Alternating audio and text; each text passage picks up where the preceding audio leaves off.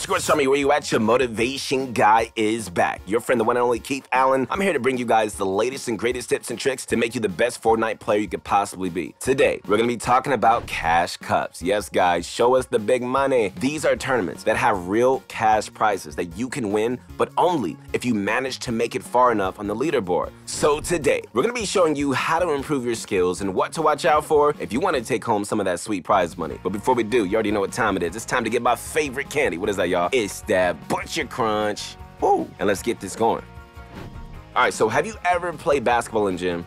Like, what about like simply run a few laps? Before you even think about doing that though, don't you have to like warm up or perform a few exercise routines like stretching or, you know, jumping jacks? Like, the same rule applies to esports. However, you are going to be training your hands and mind. All right, guys, if you want to be a pro, you have to think like them, right? And that means running a few courses before stepping into the cash cup. Take this as an example, all right? Like, if you just woke up, you know, you're getting ready for a cash cup, what might happen is that you enter the match and your muscle memory is still waking up. And so because of this, you aren't at your 100% skill level. Reflexes and muscle memory needs to be stimulated before they're just running at their peak performance. This is why you start to feel like you're playing better after spending time grinding Fortnite. Your mind is just easing into it, man. And you know, this is what we gamers call being in the zone. Like just remember to just warm up moderately or and not really overdo it, all right? Like if you spend the whole day playing Fortnite before the big game, you might get burned out and not really do as well as you could do. So warm-ups are only warm-ups for a reason. All right, so if you need help warming up or just learning more advanced skills, all right, you guys gotta click on the link below to visit ProGuides.com. There, you can get connected to a variety of different coaches that can help you tap into your full potential. Whether you're coming in as a beginner or already have some experience playing competitive, there is always something new to learn.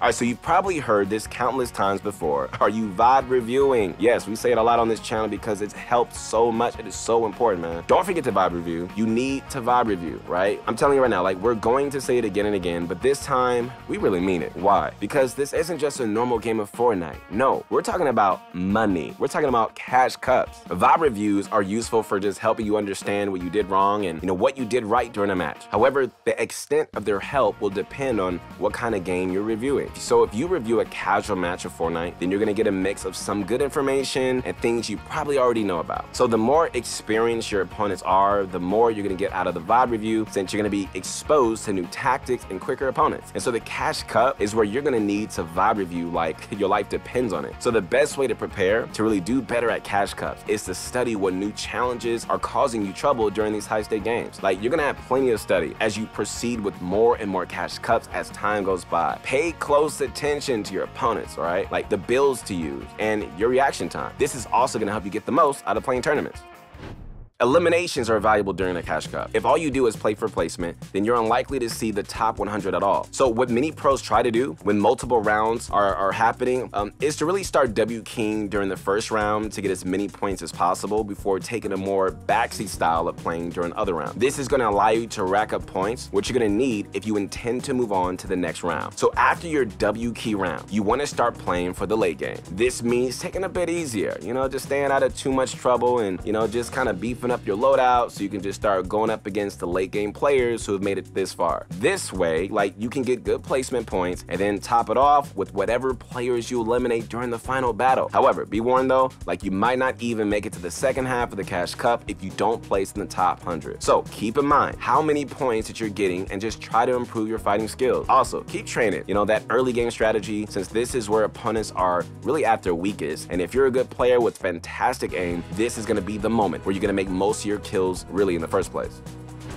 All right, so your choice of drop spot is another topic that has different dimensions to it when you apply them to tournaments. All right, so for starters, a landing spot might be great if you want to start the game in a good place and get the victory royale. However, like we mentioned before, guys, like when we talked about kills, cash cups, don't just look at whether or not you're the last one standing. You need to score high by getting placements and kills. So if you're doing a solo cash cup, you want to be able to drop somewhere you can just get the action right away, but leave with a decent loadout. If you land too secluded, you could end up missing valuable kills that can just help you place higher during the event. This can be critical for anybody wanting to succeed. And so if you're playing team modes, you could take the liberty of just landing somewhere a little more populated. Plus, solo drops, while great for one player, might not have sufficient loot to fully equip a team of two or three players. So for this, you need to land in places where, you know, you can get more loot. And if that means fighting another team, well, so be it. All right, so once again, man, you know, we always have to remind you to always have at least two possible landing spots in mind before the match starts.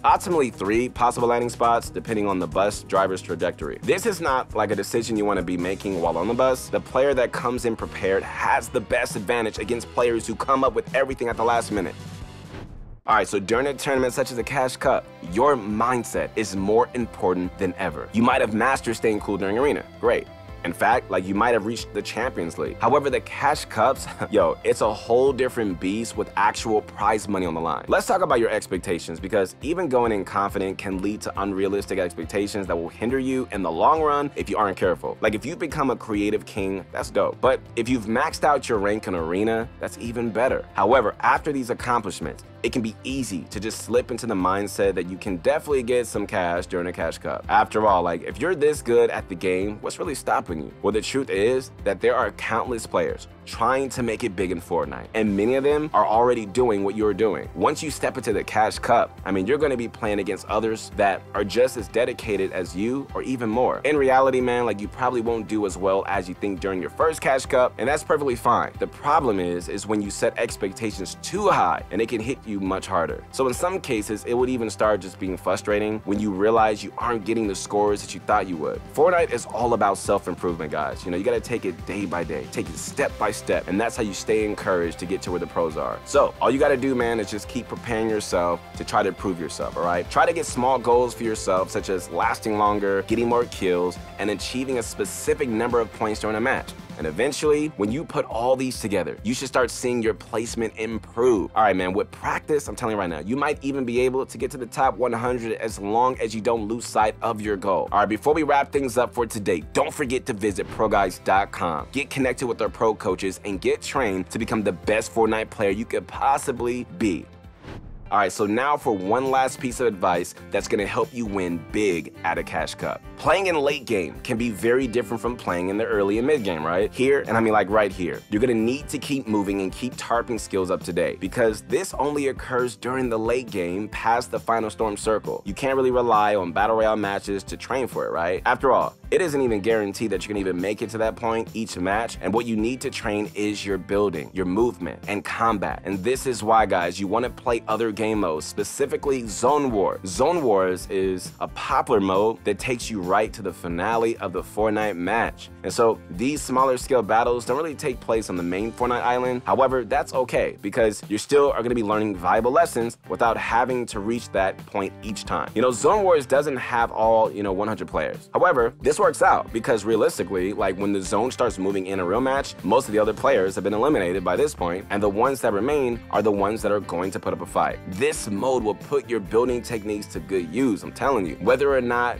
you know, you do good here will also be determined by your ability to edit. Don't forget to also train your 1v1s, all right? While Zone Wars are more tailored for the competitive experience, you won't get anywhere in that mode unless you first train how to fight so that you can reach that point in the game. You also want to make sure that, you know, when you do encounter one of these late game opponents, that you can eliminate them with a certain distance to yourself. Those refresh items are going to be crucial to keep you moving.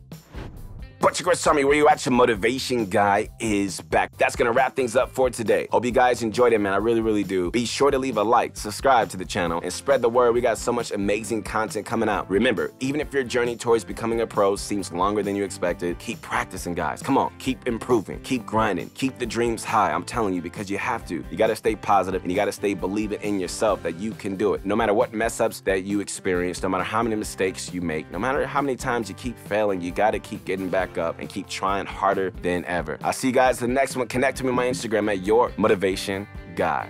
Peace.